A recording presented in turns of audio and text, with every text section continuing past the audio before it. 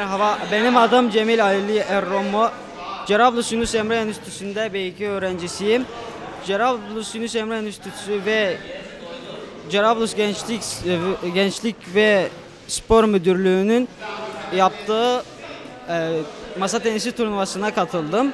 Çok eğlendik ve arkadaşlarla iyi maçlar yaptık. Herkese bu e, masa tenisini tur- tavsiye ederim. Herkes oynaması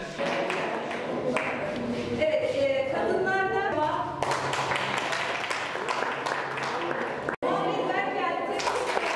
Merhaba, benim adım Semah El Hassun.